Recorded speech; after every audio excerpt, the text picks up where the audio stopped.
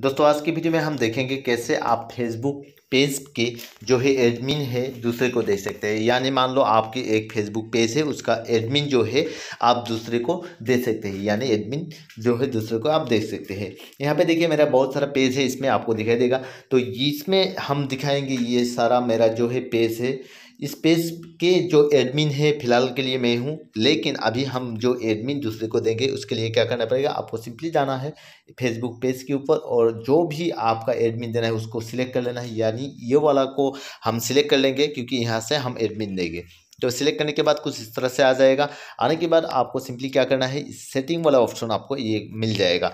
तो ये सेटिंग वाला ऑप्शन को आपको क्लिक कर देना है। इसको क्लिक करते ही कुछ इस तरह से आ जाएगा। इसमें बहुत सारा इंफॉर्मेशन जो है दिया हुआ है। आपको सिंपली जाना है पेज रोल ये वाला ऑप्शन आपको सिलेक्ट कर लेना है। तो हम इसमें जाके जो पेज रोल है, इसको सिलेक्ट कर लेते हैं। उसी के साथ इस तरह से कुछ खुल जाएगा और आपको देखने को मिल जाएगा यहाँ पे देखिए एट परसेंट टू पेज तो ये वाला ऑप्शन आपको मिल जाएगा। सिंपली आपको इसमें क्लिक कर देना है। क्लिक करने के बाद कुछ इस तरह से आएगा और आपको चाहेगा आपका जो पासवर्ड है फेसबुक का, उसको इसमें इंटर कर देना है। तो आपका जो भी पासवर्ड है, आप इसमें इंटर कर दीजिए। हम हमारा जो पासवर्ड है, इसमें फ़िलहाल के लिए एंटर कर देते हैं।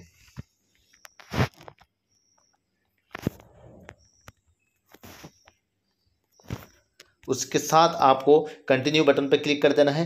क्लिक करने के बाद कुछ इस तरह से आ जाएगा। आपको सिंपली यहाँ पर देखिए टाइप करना है आपका नेम टाइप करना है जो बंदे का आपको जो एडमिन देना है तो उसका नाम इसमें टाइप कर दीजिए। कुछ भी टाइप कर दीजिए और करने के बाद ये वाला आ गया है। इसको जहाँ भी, जो भी आपका बंदे है, जो भी पर्सन फ्रेंड है, आपको जो जिसको आपको एडमिन देना है सिंपली उसको सिलेक्ट कर लीजिए। सिलेक्ट करने के बाद इसमें देखिए, एक ऑप्शन आ रहा है। एडमिन इसके ऊपर आपको टिक कर देना है, ठीक है?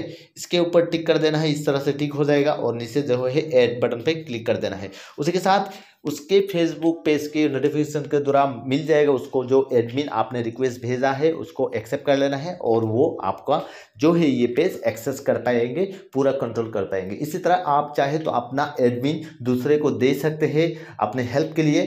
तो दोस्तों, आज के लिए इतना ही। फिर एक नई वीडियो लेके आपके सामने आएँगे। तब तक के लिए अलविदा। थैंक यू ऑल दोस्तों।